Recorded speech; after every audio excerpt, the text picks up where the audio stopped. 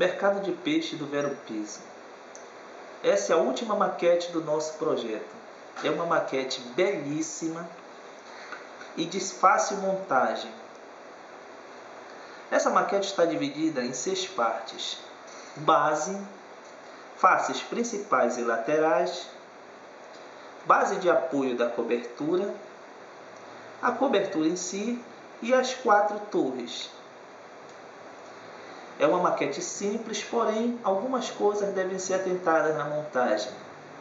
Por exemplo, a base principal dessa maquete está dividida em duas partes que são montadas separadamente e depois coladas uma na outra.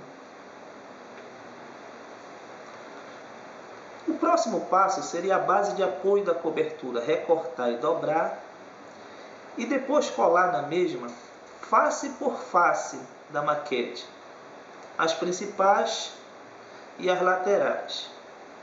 A base de apoio da cobertura serve como um guia para a colagem da cobertura na maquete. Depois vem, vem a colagem da cobertura.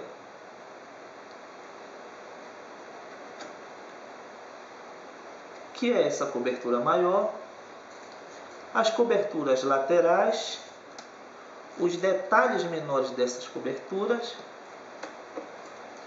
e por final as torres, chegando ao resultado que é essa belíssima maquete do mercado de peixe do Vero Pesca.